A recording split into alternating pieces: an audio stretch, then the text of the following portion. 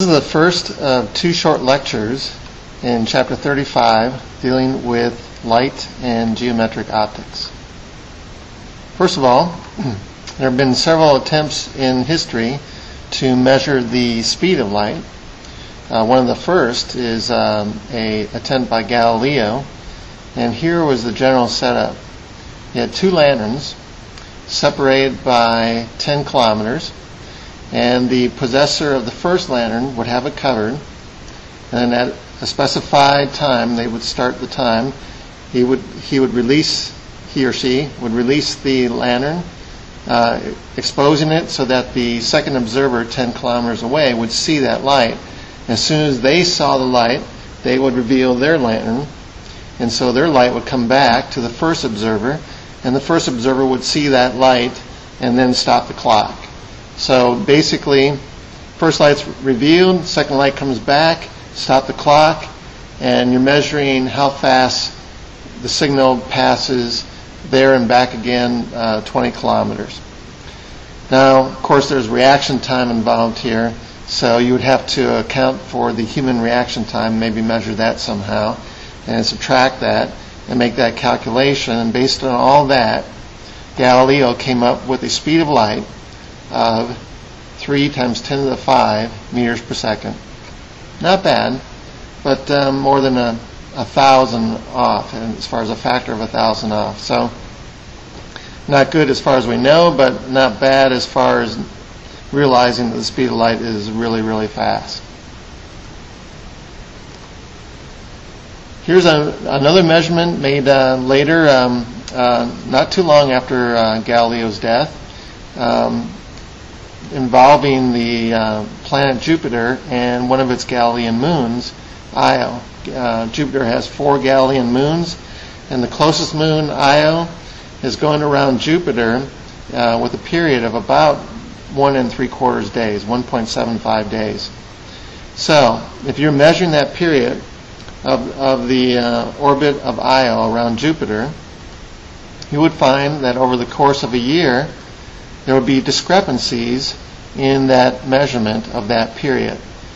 For instance, since we know that the Earth is going around the Sun at 30,000 meters per second, if you were measuring this orbit of Io around Jupiter over the course of one and three quarters days, if Earth was on the uh, side of the Sun like this and moving away, well, either toward or away, if it were moving away at 30,000 meters per second, then over the course of a day and three quarters, it could move a pretty good distance, and even light would have to travel that extra distance to get to to your eye.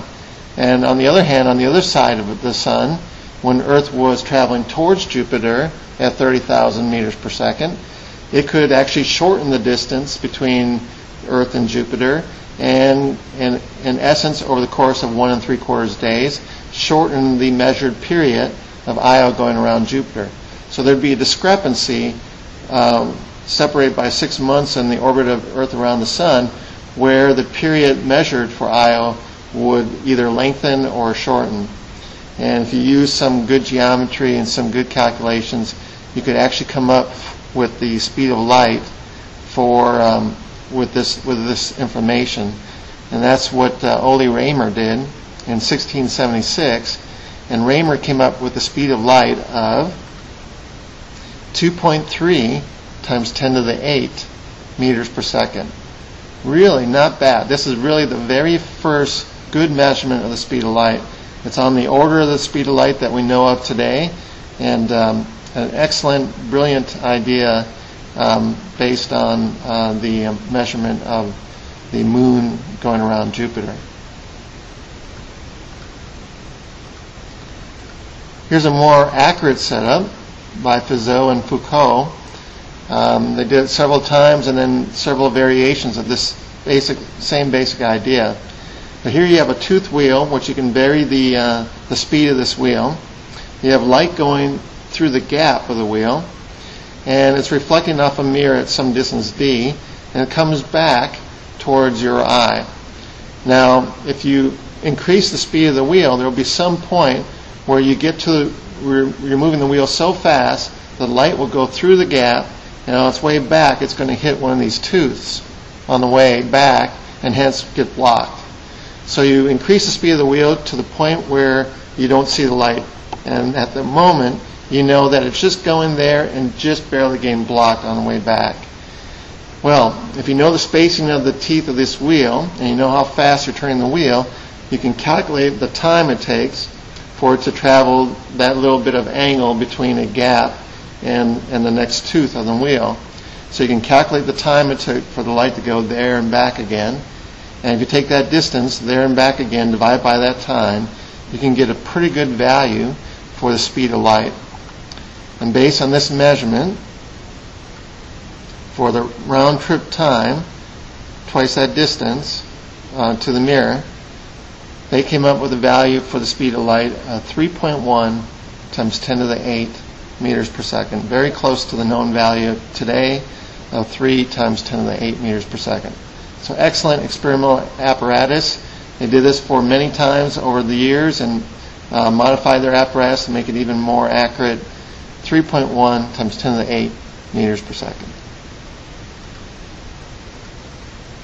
So here's a, a list of many of the measurements of the speed of light. Uh, the first one, Galileo Galilei, you know, 3 times 10 to the 5 meters per second, or 333 kilometers per second. Um, excellent start, but uh, Ole Roemer came up with a better measurement. And then, of course, we got James Bradley based on stellar aberration, rotating mirror and rotating wheel, uh, Fizeau and Foucault. James Clerk Maxwell, theoretical calculations in 1868, came up with a value very close to 3 times 10 to the 8, you know, 284,000 kilometers per second. Uh, Michelson and Morley, rotating mirror, okay, start really zeroing in on this final value of 3 times 10 to the 8 meters per second. So excellent. Really, um, how hard could this measurement be? I mean, you're just talking about light and traveling a distance and measuring that. I mean, I got light here, and I got a stopwatch. Let's just see how fast I can measure the speed of light. So we got a light and a stopwatch, and all right. So I got a measurement here of 1.66 times 10 to the minus 9 seconds. And that was about half a meter. So if I take uh, half a meter divided by 1.66 times 10 to the minus 9, I get 3.00 times 10 to the 8 meters per second. So that's it. You know, just a light and a stopwatch. 3 times 10 to the 8 meters per second. I'm going to, I'm, I'm so proud of that. I'm going to put my name on this list. So in 2000 umpteen, uh, John Golben stopwatch and flashlight 3 times 10 to the 8 meters per second.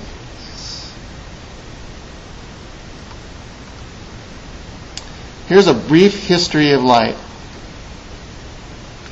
1000 AD, it was proposed that light consisted of tiny particles, just real tiny particles traveling from me to you and you to me.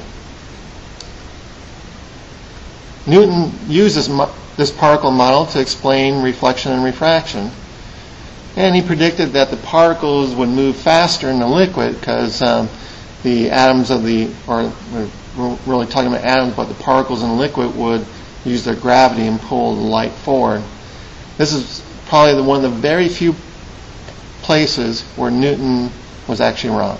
I mean, he was right and brilliant about uh, assuming the particle model of light, because certainly light can be assumed in that uh, frame of reference as a particle model, model of light. But uh, he was wrong about the fact that uh, light would move faster in the liquid it actually moves slower. So one of the very few points where the brilliant Newton was actually actually wrong. Huygens um, in 1678 assumed a wave model of light and was able to explain many of the properties of light um, using this wave-like nature of light.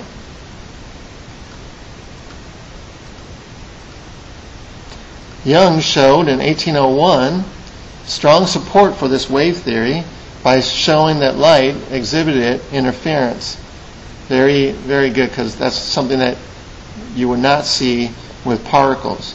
Interference. Particles couldn't interfere in the way that he was showing the um, constructive and destructive interference.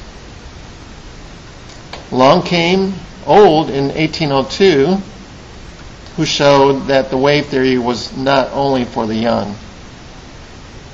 Now, I'm just trying to see if you're paying attention because we're going through history here, and sometimes history can get boring, so we'll block that out. Maxwell, 1865. Electromagnetic waves travel at the speed of light, and he showed it theoretically. Very good. Particle support. Uh, Max Planck um, showed that electromagnetic radiation is quantized. This implies bundles of energy called uh, photons and particles. Actually, didn't call it photons then. Uh, this helped explain the light spectrum emitted by hot objects. Einstein expanded this to light and said that light could be um, could be thought of as being comprised of these particles, which he called photons. And this helped him explain the photoelectric effect, which was one of his famous papers in 1905. He had four monstrous papers in 1905. Uh, the photoelectric effect, uh, Brownian motion, and two papers on special relativity. Probably 1905, the greatest year any scientist ever had, was these four papers by Einstein. He got the Nobel Prize for explaining this photoelectric effect.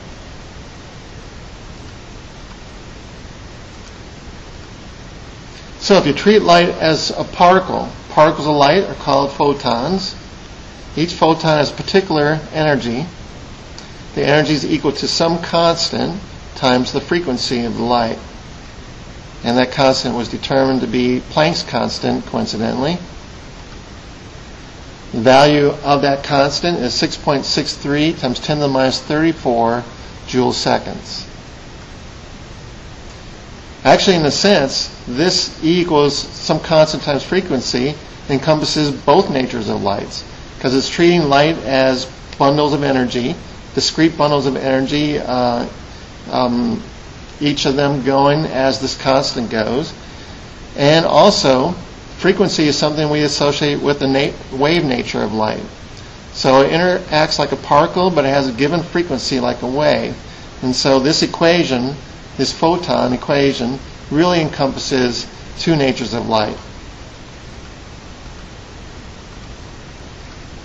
The light does have a dual nature, and experiments can be devised that would display either the wave nature of light or the particle nature of light. Some experiments, light acts like a wave, and in others, it acts like a particle. If you devise your experiment to look for light as a wave, you will find it as a wave. If you devise your experiment to look for light as a particle, you will find it as a particle. Nature prevents testing both qualities at the same time. You can't find a wave and particle nature at the same time. It depends on what you're looking for, and you can only look for one at one time. So, whatever you're looking for with light, you're going to find it.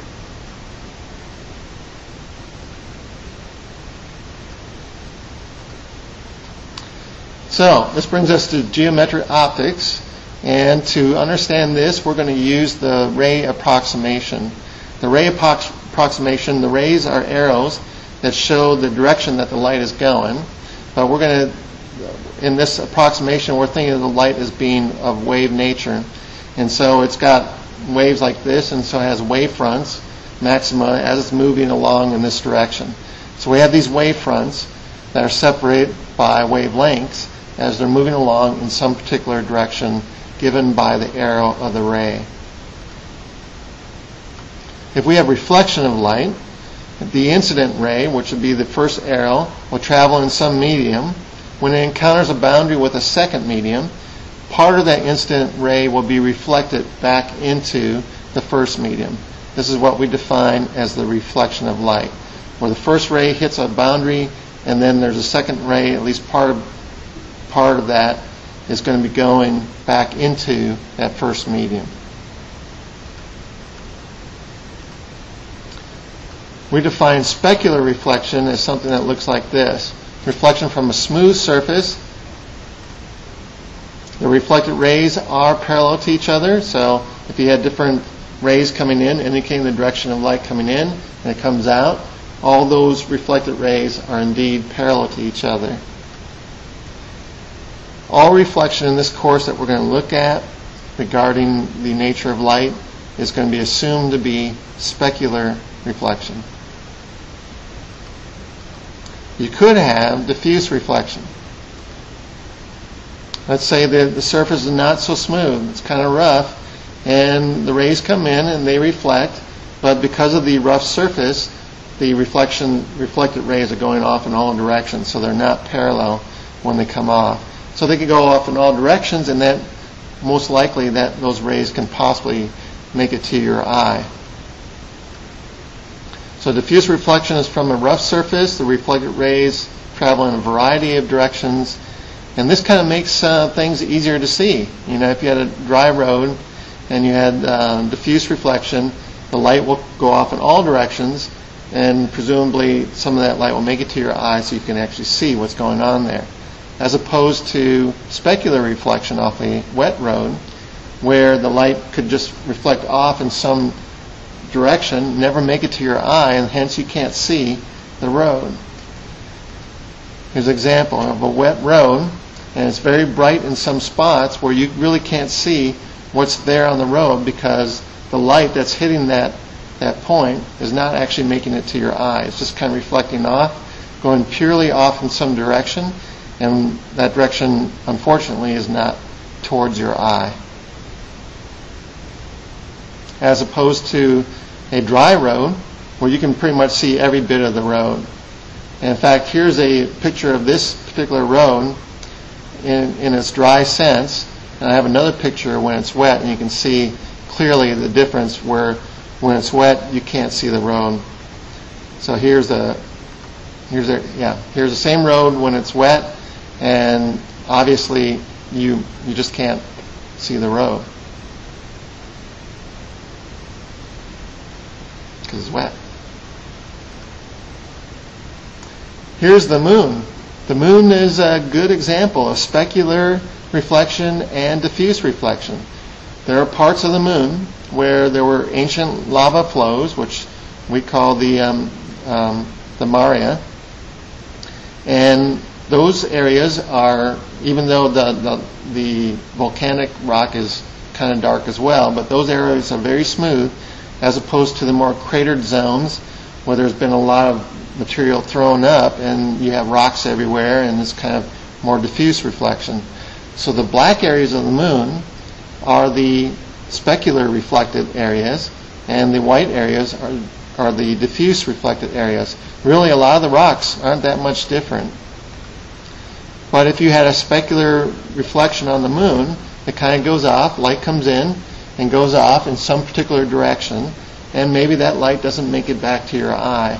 So that area, even though it might not be particularly black, will appear black to you because you're not getting that light back as opposed to the more diffuse areas where you have these craters where there's much more reflection in all directions and some of that light makes it back to you so you can actually see those areas uh, more clearly.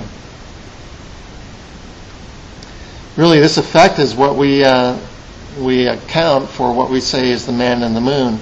And you know, if you look for the man and the moon on the web and try to get somebody to explain what it is, nobody really explains what the man in the moon is. So I'm going to show you what I think the man in the moon is. We're looking at the moon here, and we're looking for some features that will show us the face in the moon. Here's the mouth. Here's one eye. Here's another eye, a nose, and an ear. And there you've got the man in the moon. You know, you could just as easily say there's a dog in the moon. You know, you're looking at this picture of the moon, and it looks to me, you know, if you look over here, it looks like there's a face and two ears, and then a body off. You know, you, see, it looks like a face of a dog right there. Huh? Huh? Looks like a dog. Some people even say there's a rabbit in the moon. If you look at this picture of the moon, just a little bit of uh, imagination, you could draw a rabbit in the moon, you know, with rabbit ears. Of course, if you're drawing like that, you know, it kind of looks like one of my drawings. And I would actually say that's not a rabbit.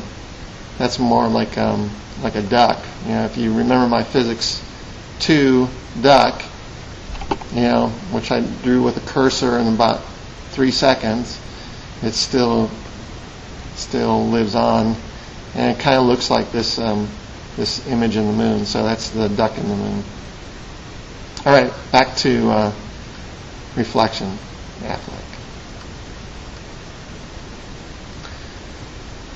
Well, we have uh, specular reflection, and if we define what we call a normal, which is perpendicular to the surface of the boundary, perpendicular 90 degree angle, that normal line is how we're going to define our angle of incidence and our angle of reflection. So the angle going in, that angle between the ray going in and the normal is our angle of incidence, and the angle coming out, the ray going out, that with the normal is our angle of reflection. And it turns out that the angle of incidence is equal to the angle of reflection for specular reflection. So we would say theta incident is equal to theta reflected. That's the law of reflection. An example of this would take place again with the moon. Uh, one one proof that we actually did go to the moon, you know, apart from any conspiracy theories to the contrary, is that um, the Apollo 11 astronauts placed a retroreflector on the moon. So if you had a good laser and you found that retroreflector, you could shoot your laser at that reflector. It would come right back to you, and you could measure that intensity coming back to you. And that would be proof that we actually went to the moon because there's no way that anything else on the moon would be able to reflect that way. You would need, you, it would have to be that we actually placed something there. So that's proof that we went to the moon. There was an episode on uh, Big Bang Theory that actually illustrated that as well.